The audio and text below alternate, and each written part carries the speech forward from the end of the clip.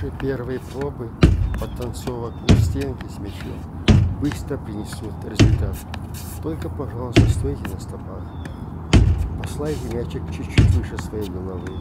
Не стойте близко около стенки. Вы сами поймете вашу реакцию на ситуацию.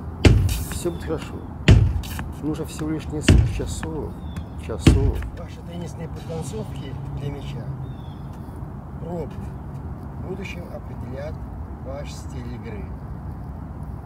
Вы будете доминировать на корте, вы будете атакующим игроком на корте, или вы будете стоять в глухой обороне за задней линией и отбрыкиваться.